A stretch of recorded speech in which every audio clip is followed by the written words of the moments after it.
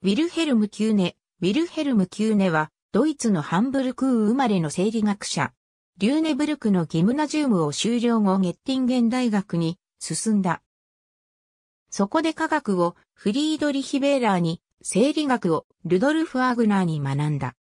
1856年に修了後、ベルリン大学のエミール・デュボア・レーモン、パリ大学のクロード・ベルナール、ウィーンのカール・フレドリッヒ、ウィルヘルム・ルートヴィッヒやエルンスト・ウィルヘルム・フォン・ブリュッケなど様々な有名な薬理学者のもとで研究を重ねた。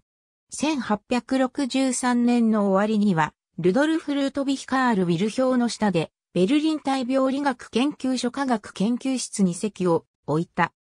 1868年には、アムステルダム大学の生理学教授職、1871年には、ハイデルベルク大学のヘルマン・フォン・ヘルムホルツの公認につき、1900年6月10日に死去するまでその地位にあった。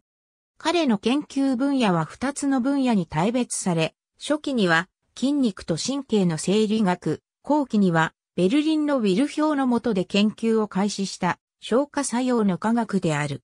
また光の影響下における視覚と網膜の科学的変化に関する研究でも知られている。1876年にフランツ・クリスチャン・ボールが発見したロドプシンで、視覚における光科学の基礎理論を確立しようと試みた。